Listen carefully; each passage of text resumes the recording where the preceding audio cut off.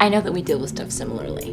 And by similarly, I mean in really bad ways sometimes. Stop ordering chocolate milk at meetings. People think it's weird. Last night, Peace and I fell asleep on the couch with blunts hanging out of our mouths. What? Is no one gonna state the obvious? It is Saturday. Let's go out. Again with the best friend shit? Thinking I should invest in a waterproof vibrator. Bullshit. I have been there for you every single time that you fell apart to pick up the pieces, and I'm just being honest about the fact that I can't do it anymore. Can you relax for two minutes and think about somebody other than yourself? I can, but it's not gonna be easy.